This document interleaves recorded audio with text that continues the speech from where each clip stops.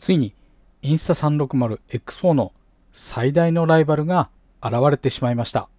性能が書いてあるんですけども8もう暗くてですねノイズだところでこれも対戦をさせて皆さんこんにちは。アットナオチャンネルのなおです。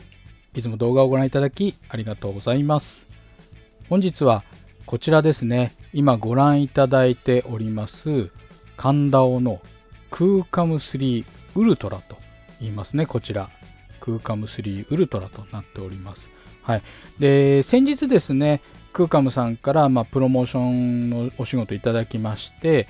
クーカム3ですね。これの、まあ、ウルトラがついてない無印版って言ったらいいのかな？の方をレビューさせていただいたんですけれども、まあ、今回はですねクーカム3ウルトラということになりましてでこのウルトラをですねこれ皆さんと一緒に見ていきたいなと思いまして今日ねちょっと緊急で動画を投稿させていただいております。ですのでねまあ顔出さないでもうそのままねグダグダと360度カメラ大輔おじさんが喋ってるといった形になります。はい。じゃあまずねちょっとこのサイトの方から見ていきたいと思います。はい。クーカム3ウルトラですね。で今ですねまあ出荷予定日が8月10日頃っていう風になってますで価格が8万1800円と。今、1万 ,1 万5000円引きですね。もともとは9万6800円と。結構強気な値段というか、XO がね、約8万、まあ、7万9000いくらでしたっけ ?7 万8000いくらでしたっけ？まあ、だいたい約8万っていうところなんですけれども、まあ、そこにね、ちょっと近づけてきたと。この1万5000円引きであれば、まあ、ちょっと足したら、クーカム3ウルトラ買えちゃうよっていう値段ですよね。なんかうまいとこついてきてるなっていう感じはするんですけれども、ちょっとね、こちらの見ていきたいんですけれども、まずクーカム3ウルトラになって、8K360 度動画が撮れるようになりましたと。で、写真もね、96メガピクセルの360度写真が撮れますよという形ですね。後ほどね、XO ともちょっと比較していきますんで、今はね、クーカム3ウルトラだけ見ていきたいと思います。で、DR ブースト。ちょっとこの DR ブーストっていうのはわからないですね。すいません。はい。で、あとは10ビットの色深度ということですので、後ほどね、ちょっと詳しめに解説はしますけれども、これは、まあ、色の情報がですね、非常に多くこのカメラの中にね、記録することができるということになってますのでこう色彩鮮やかで滑らかなね色の表現ができますよということになります。はい、あとは強力な手ブレ補正。まあ、これ基本的に360度カメラはもうどのカメラも強力な手ブレ補正だとは思うんですけれどもあとは360度デュアルレンズモードと180度シングルレンズモードに対応ということで空間 M3 の時はこれ360度モードしかなくてシングルレンズモードみたいになかったんですよね。はいそれがですねウルトラになって、まあ、シングルレンズモードもついてきたよと実装されたよということです。あとは内蔵 GPS そして空間オーディオですね。これは多分空間 M3 と変わんないのかな。まあちょっとねこう性能が上がってたりするのかもしれないですけれどもあとは F1.6 の、まあ、明るさのレンズとデュアル1.7分の1センサーということですね。で、まあ、あとはね、ループ録画とタイムラプスができますよということになっております。はい。このままね、ちょっと下の方を見ていきます。で、基本的にね、今出てるのが、まあ、このアクセサリーは、レンズプロテクター、要はレンズガードですね。レンズガードと、あとは空間 M3 シリーズのバッテリー充電ケースというのがあります。あとは空間 M3 ウルトラのバッテリーということになりますね。他はちょっと今ここにはで確認はできないんですけれども、まあ、購入するとこんな感じのね、セットになってるのかな。こういう感じのセットがついてきますよといったところです。はい。ちょっとこの本体見ていきますと、クーカム3よりもちょっと縦長になってる感じですね。で、この辺りにね、撮影ボタンが多分、これ撮影ボタンだと思うんですけども、撮影ボタンが来てたりして、ちょっとね、仕様が変わってるのかなっていうところはありますけれども、まあ、ほぼほぼね、ここのモニターはね、それほど大きくなってないと思います。なんか見た感じね、あの、大きさとかがね、どっこにも書いてなかったと思うんで、ちょっと調べられなかったんですけれども、幅はね、クーカム3とあまり変わらずで、高さが多分ね、こう高くなってると。で、モニターはそんなに変わってないんじゃないかなという感じですね。はい。で、まあ、なんだかんだいろいろ書いてありますけれども、これ読んでるとね、時間なくなっちゃいますので、こちらですね、クーカム3ウルトラというところになっております。はい。で、一応早期割引っていうのは、7月29日から8月の10日までということになってるみたいですね。はい。はい、こちらの方にも、まあ、一応ね、こう明快一押しの性能が書いてあるんですけども、8K で撮れるよ、96メガピクセルの360度写真だよ、あとは F1.6 の大口径の明るいレンズですよと。で、あと IP68、まあ10メートル防水ですね。これ空間3も10メートル防水だったと思います。あとは、まあ、10ビットのね、ビットカラーデプスと書いてあります。で、1.7分の1インチのデュアルセンサー、シングルレンズモード、あとはこの DR ブーストっていうのはこう、あれですかね、なんかこう、後で色の編集ができるようななんか撮影方法なのかなそんな感じに見えますねこっちの方がねちょっと眠たい色こうちょっとグレーかかった色ででこっちがオフになってますのでおそらくこの撮影した映像をいろんなねよくラットを当てるなんて言いますけれどもそういった色味の調整だとかをするね編集したりして自分好みの色にこう作り変えるみたいなことができるようになってるんじゃないですかね。であとは内蔵の GPS 空間オーディオあとは強力な手ブレ補正というところですね。でこの辺がですね非常になんかすごいなって思ったのがこちら空間3ウルトラで書いてあるんですね。で、まあ、72メガピクセルローということになっております。で、こっちがね、他の 8K カメラって書いてあるんですよ。他の 8K カメラって何なのかっていうところなんですよね。で、まあ、この辺もそうなんですけれども、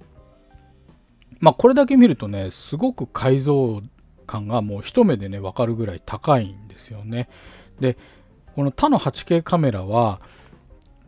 おそらくインスタ 360X4 なのかなっていうとこなんですよね。ちょっとね、この辺りはわかんないですけれども、あとはダイナミックレンジ比較ですね。まあ、色情報、まあ、10ビットで撮れますよっていうところなんで、色が非常にね、綺麗に撮れますよというのと、まあ、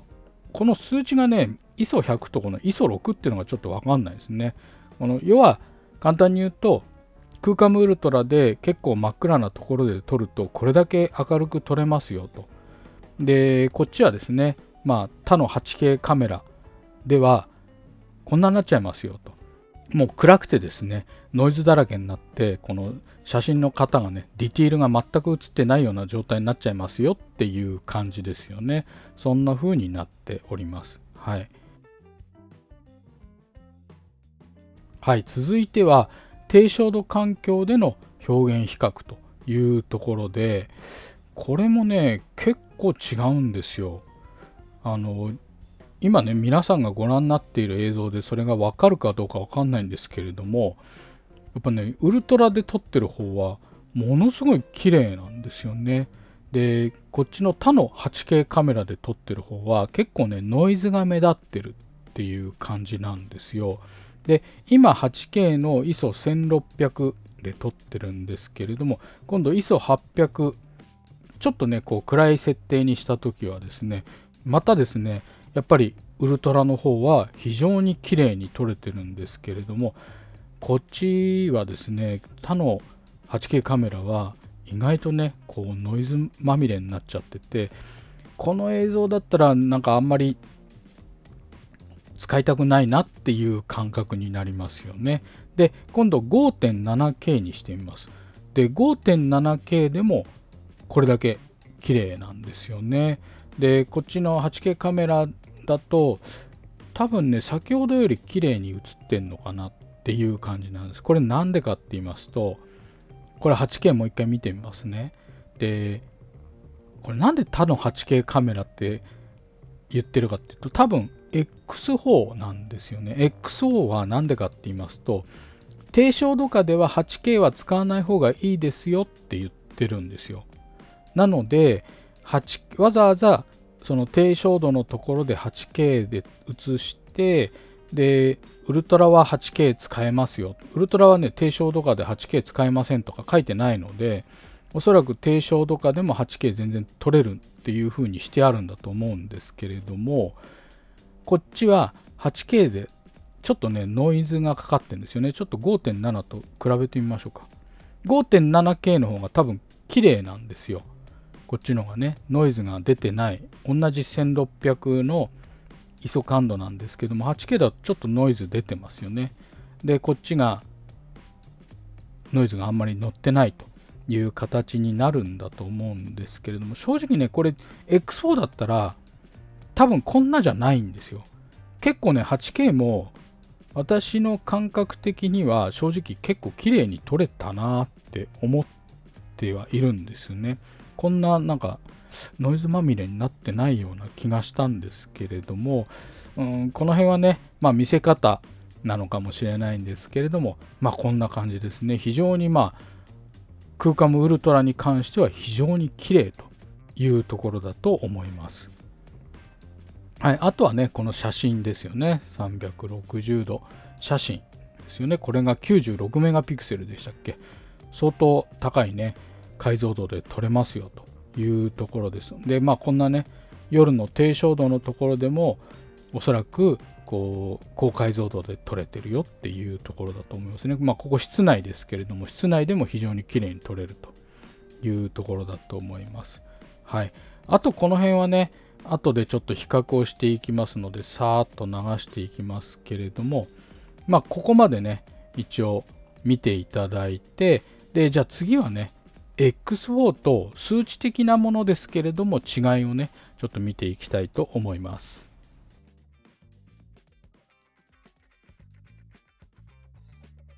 まあ、ここからはですね、クーカム3ウルトラとインスタ 360X4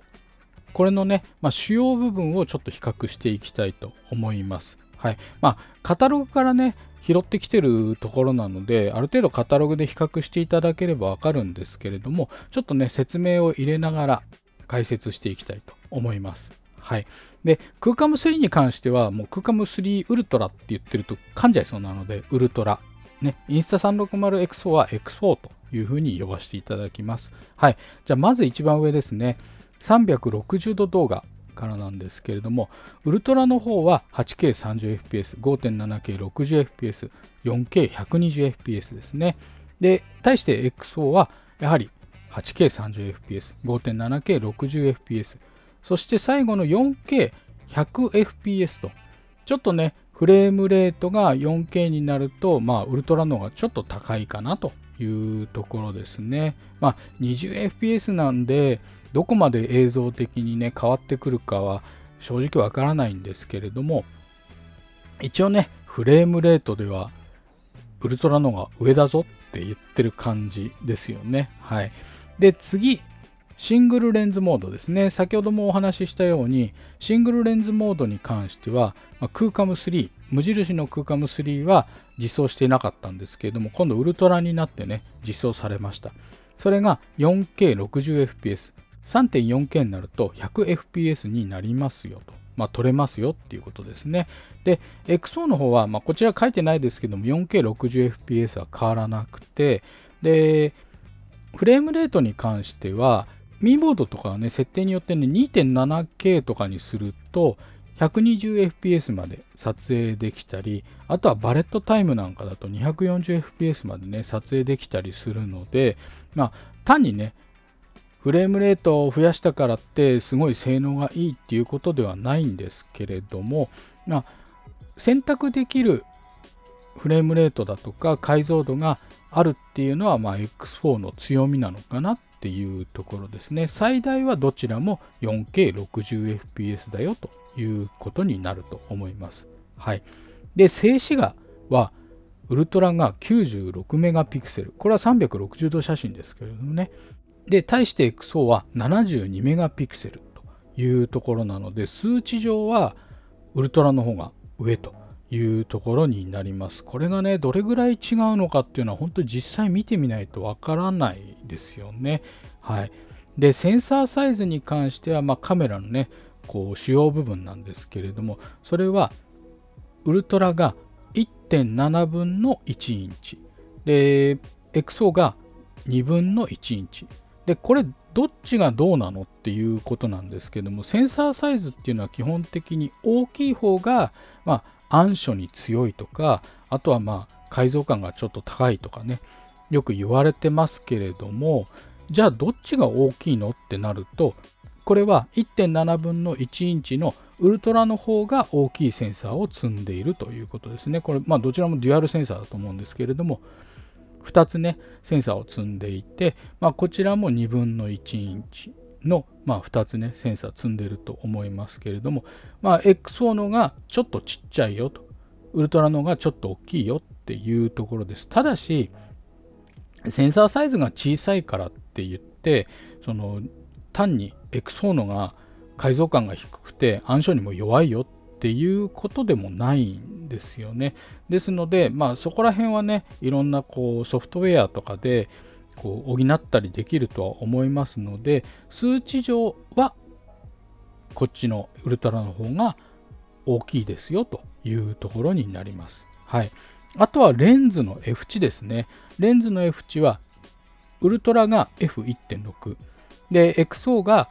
F1.9 という風になってます。で、こちらも多分ね、あのカメラとかあんまりわからないよっていう方は、F1.6 とか F1.9 ってなんだよって思われると思うんですけれども、これはすごい平たく言うと、レンズの明るさですね。で、レンズ、明るいレンズの方が光を多く取り込めるので、基本的に解像感が高い映像が、まあ、撮れるということになります。はい。ですので、じゃあどっちのね、レンズの方が明るいレンズなのっていうと、数値が小さい方が明るいレンズということになります。ですので、F1.6 の方が小さいので、こちらもウルトラの方が明るいレンズ。まあ、エクソノがウルトラに比べたらちょっと暗いレンズっていうことになります。はい。あとはジャイロスコープ。これは両方とも6軸ですね。で、ジャイロスコープってなんじゃらほいっていうことなんですけれども、これはね、移動方向だとか、あとは向き、回転、まあ、移動距離だとか速度だとかを、まあ、カメラ内で検出するっていうものですね。もちろんだこういったものは多分あの手ブレ補正とかねそういったものだとか他にもこうカメラ360度カメラなので、まあ、ぐるぐる振り回したりしますよねそういった時の方向だとか向きだとかっていうのをこう6軸をフルに使ってね検出して変な見にくい映像にならないようにしてるんだと思うんですけどもこれはねどちらも6軸ということになっておりました。はい。それとあとカラービット振動ですね。これ先ほど解説しますって言ったんですけれどもウルトラの方は10ビット。XO は多分8ビット。ちょっとね、その何ビットっていうのは見つけられなかったんで、8ビットなのかなっていうところなんで、もしかしたら10ビットかもしれません。これちょっとわからなかったんで申し訳ありません。で、これ何なのかって言いますと、要は色の種類ですね。そのカメラの中にね、映像を収めるときに、こう、色の色彩っていうんですかね、そういったものを司る、まあ、数字だと思っていただいていいと思うんですけれども、このビットっていうのは、まあ、色の多さ何色でその色を出しているかっていうのを表しているものとなります。すごく簡単に言うとね。で8ビットだとどれぐらいの色の中からこう映像を抽出してるのかって言いますと1677万色です。ね、1677色じゃなくて1677万色ですね。8ビットでも、そんな種類の中から色こう作ってんのかっていうぐらいの多さだと思うんですよね。で対して10ビットはどれぐらいなのかっていうとまあ驚くなかれ10億色なんですよね。10億6433万色っていうことなのでものすごい多いその色の中からこう映像を作ってるので、まあ、色がね滑らかだったり綺麗だったりとあとは色の再現度ですよね見たままをこうカメラの中に収めてくれるといったところになるかと思います。はい、その辺りはね、まあ、10ビットだと一応形式上はそうなりますよっていうことになります。はい。まあ、8ビットでもね、十分かなとは思うんですけど、もし10ビットになったら相当違うのかなって期待はしますけどね。はい。で、あと防水性能ですね。これは、まあ、ウルトラとエクソ変わらずですね、IP68 の防塵防水性能で最大が、ま、10メートルまで潜れますよということになっております。はい。あとはストレージ。これがね、ウルトラは内部ストレージがついてるんですよ。128GB。で、プラスマイクロ SD カードということなんですよね。で、XO の方はストレージなしで、まあ、マイクロ SD カードを購入しなきゃいけないんですけれども、基本的にウルトラは内部についてますので、128GB 何もなくても取れますよということなんですね。で、こういった360度カメラ、特に 8K30fps なんかになってくると、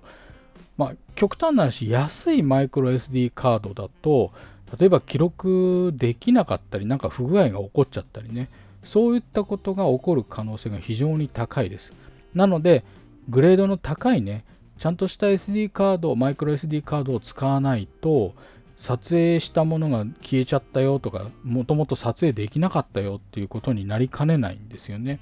そうなると、やっぱり価格的にもね、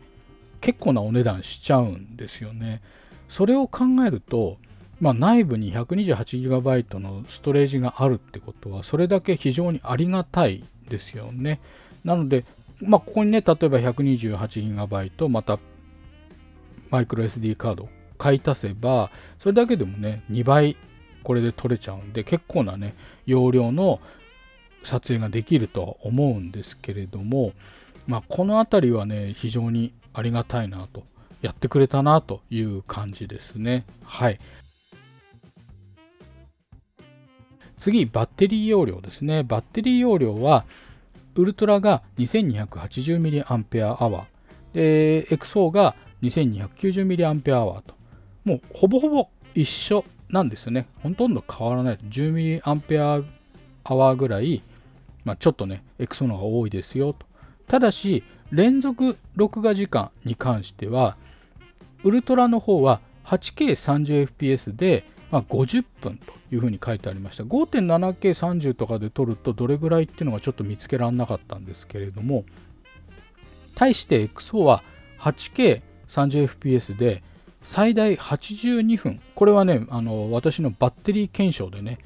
実証しております。ですので、まあ、確実にね、この環境さえ良ければ、熱停止とか起こさなければ82分取れますよと。で、普通にね、70分以上は取れてるので、まあ、75分っていうカタログ値っていうか、その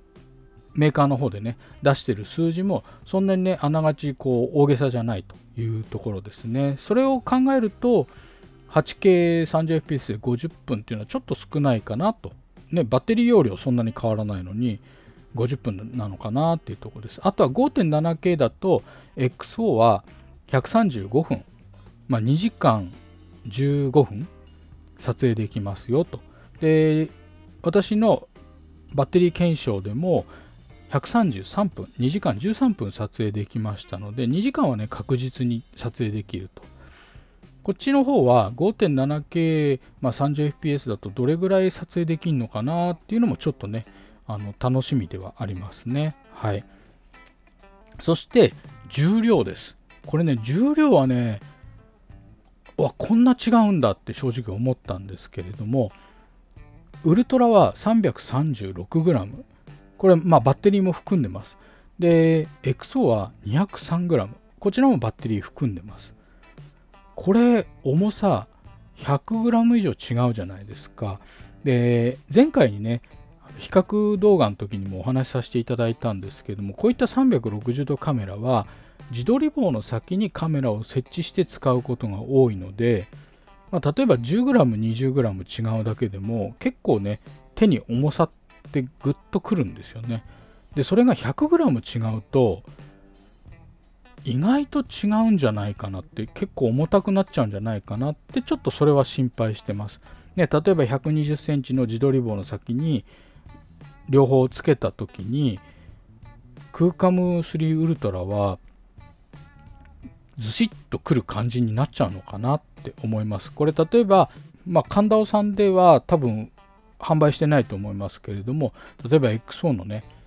3メートルのあの超長い自撮り棒の先にもしつけたりしたら結構な重さの違いがね出てくると思いますので、まあ、この 100g っていうのがどこまで影響するのかっていうのはちょっとね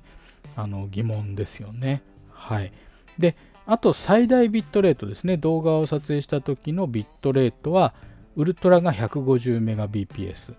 で XO は 200Mbps と XO の方がまあ 50Mbps ね、多く設定できますよというところになります。それと音声ファイルですね。音声ファイルは ACC の16ビットで 48kHz で4マイクということで、まあ、両方ともね、変わりはありません。まあ、ただね、その性能が数値が一緒だからって全く一緒かっていうとそうではないとは思いますので、とりあえずカタログの数値上は一緒でしたよっていうだけの話です。はい。で、続いて動作環境温度ですね。動作環境温度もこれ変わらずですね、マイナス20度から40度まで使えますよっていうことです。はい。で、Bluetooth。Bluetooth もどちらも BLE5.2 というところですので、最新の Bluetooth なのかな？だと思います。はい。どちらもね、その差がないですよっていうことです。で、最後にソフトウェアですね。これは前回のね、あの3大ウェアラブル360度カメラ比較でもちょっとお話しさせていただいたんですけれども、クーカム3ウルトラはクーカムスタジオ、で、あとはクーカムアプリですよね。で、インスタ360はインスタ360スタジオ、インスタ360アプリということなんですけれども、まあ、比較動画をね、ご覧いただければわかるんですけれども、もう圧倒的にね、インスタ360スタジオとインスタ360アプリは、もう他の追随を許さないって言い方しても全然問題ないと思うんですけれども、もう多機能で使いやすいっていうのは非常にその高いんですよね。で、対してね、空カムスタジオと空カムアプリに関しては、その使いにくいとかっていうことは、まあ、そんなにないんですけれどもただね機能的にすごく本当に限定されてるなっていうところとまあ多少ねいやここもうちょっとこうした方がいいんじゃないのかなっていうところはあったんですよ。なのでまあウルトラでねすごく綺麗な映像撮れますよ。8K30fps ですよ。っていう風になってカメラの性能は多分ものすごい上がってるんですよね。空間も3から。ですが、このアプリ系統、このソフトウェア系統もどんどんどんどんブラッシュアップしていかないと、せっかくウルトラでね、すごく綺麗な映像とか、いろんなものが撮れるようになったのに、それを活かしきれないっていう可能性も出てくるんですよね。その編集がね、ちょっとめんどくさかったりっていうと、おそらく映像綺麗なんだけどちょっと編集めんどくさいなとかってなっちゃうと使わなくなっちゃう人が結構出てくると思います。はい。対して XO の方はもう本当にバランスがいいっていうか、まあ、カメラの性能もそうなんですけれどもやっぱりそのスタジオですねアプリ、まあ、これはもうどの方が多分触ってもあこれは使いやすいなって機能もすごいたくさんあるんだなっていうふうに思っていただけると思うんです。なので、まあ、総合的に見た時に、まあ、どっちのカメラがいいのかなっていうところになるかと思います。はい。なのでね、この辺りですよね。あとは、結構見落としがちなのはアクセサリー関係ですよね。アクセサリーがどの程度充実しているのか、もう確実にね、今のところ、インスタ 360X4 のアクセサリーっていうのはものすごい数があって、で、ね、レンズガードも、レンズガードだけで2種類とかあったりね、で、いろんなものが、こう、インスタ360の公式サイト行くと販売されてますし、まあ、Amazon なんかでもね、楽天でも販売されてます。対して、このクーカム3ウルトラの方ですね、先ほどね、公式サイトの方を見ると、まあ、バッテリーと、あと、レンズガードみたいのは売ってましたけれども、もっともっと例えばそれこそ、以前クーカム3をね、レビューさせていただいた時にもお話ししましたけれども、この水中ケースみたいな感じ？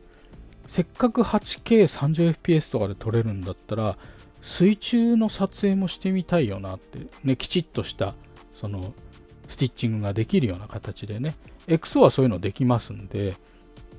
そういった要望も多分たくさん出てくると思いますし、いろんなアタッチメントなんかもね、どっかにつけて、その 8K で撮れる映像を見たいなとか、そういうのも出てくると思うんですよ。なので、そのあたりもね、こう、神田尾さんがこう頑張っていただいて、商品開発とかしていただければ、本当にね、これ数字だけ見ると完全に XO をライバル視してるなと。ね、なんかちょっとでもとにかく数値上は X4 より上に行くぞみたいな感じでね、あの意気込みが感じられるんですけれども、あとはね、もうその数値ではなくて本当にね、比較した時にどんな違いがあるのか、あとはそのソフトとの関わり合い、あとはそのアクセサリーですねそういったところの全体的なものを見た時にどこまでね X4 とウルトラがこうどんどんどんどん高みに上がっていくのかっていうところが非常に興味がありますね。ですので、まあ、神田尾さんにねお願いなんですけれども私にもクーカム3ウルトラをですね、まあ、ご提供いただいてぜひね X4 と対戦をさせていただきたいと比較をさせていただきたいと思います。よろしくお願いいたします。もちろんね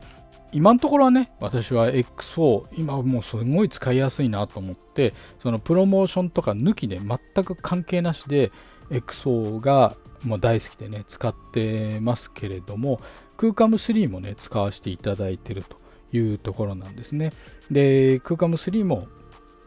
今ね動画をいろいろ作ってはいるんですけれども、まあ、これからねウルトラが出てきて正直にどちらもねこう比べてみたいなっていうのは本当に360度カメラ大好きおじさんにとってはですね、まあ、夢のような案件ではあるんですけれども、まあ、なんとかねこうお願いできればとやらしてやるかって思っていただければ非常にありがたいなと思っておりますのでよろしくお願いいたします。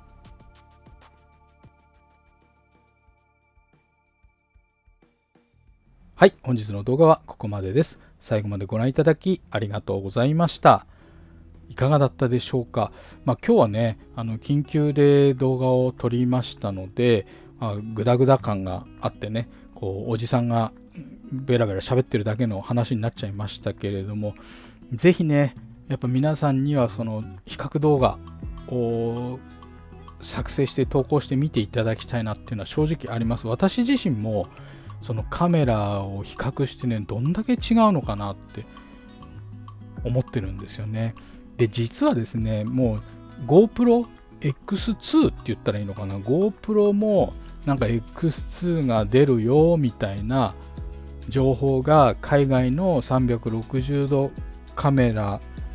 専門の YouTuber さんからですねいろいろ出てるんですよね結構まあ多分ね皆さん検索していただければ出てくると思うんですけれどもそのもしね